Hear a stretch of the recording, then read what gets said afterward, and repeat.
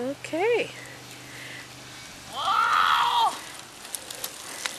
Jacob learned to ride his bike with no training wheels in five minutes.